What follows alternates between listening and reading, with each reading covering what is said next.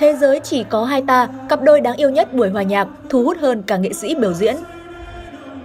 Mới đây trong một concert của Vũ, dân tình đã bắt gặp khoảnh khắc phiêu theo nhạc cực đáng yêu trên hàng ghế khán giả. Theo đó, khi nam ca sĩ đang trình diễn trên sân khấu, hai bạn do ngồi ở vị trí cuối cùng của tầng 1 khán đài, phía sau không chắn tầm nhìn, nên cả hai đã quyết định đứng lên và cùng nhau khiêu vũ theo điệu nhạc rất tự nhiên. Những động tác tuy có phần vụng về nhưng tràn đầy sự đáng yêu và niềm hạnh phúc trong ánh mắt nụ cười của hai nhân vật chính. Hành động này cũng thu hút sự chú ý của nhiều người trong khán đài, thế nhưng cặp đôi vẫn rất phiêu và chẳng cần quan tâm đến ánh mắt của mọi người, cứ như cả thế giới này chỉ có hai ta.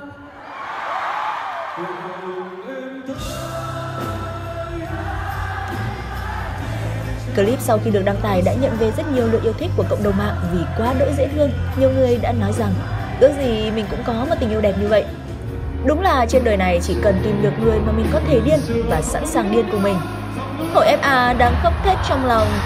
Chúc hai bạn sẽ luôn thật hạnh phúc và nắm thật chặt tay nhau nhé. Còn bạn, bạn nghĩ sao? Hãy cùng comment chia sẻ cho Tán TV cũng như ủng hộ kênh bằng cách like, share và subscribe mỗi ngày nữa nha.